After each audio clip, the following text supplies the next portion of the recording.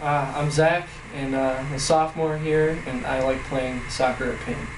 We go every single Tuesday, we go every Wednesday, play from about 6 to 10.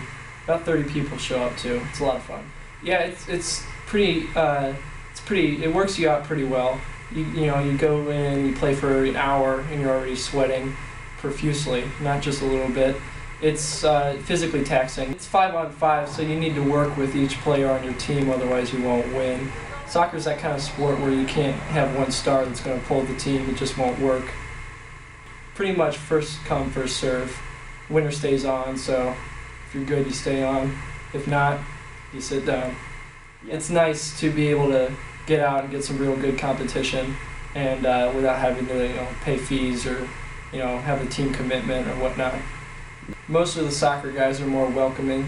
They're in soccer, you only score you know once, twice a game, so it's more of a welcoming thing and understanding thing at the same time, where you're not expected to be perfect. You're just expected to work as a team.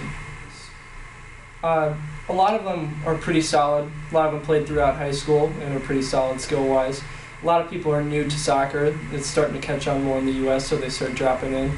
And uh, they're not bad, and everyone helps them through it. And you can obviously tell that they get better the more and more they come.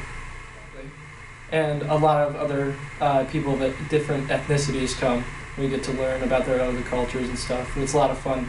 And it's amazing that so many, like you can interact with people who don't even speak your language through a sport.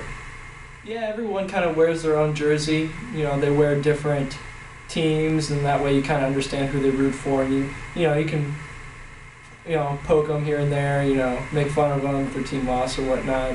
It's a lot of fun. But then again, you gotta hope your team wins, so they don't poke fun at you. I root for Chelsea. I'm a big Chelsea fan.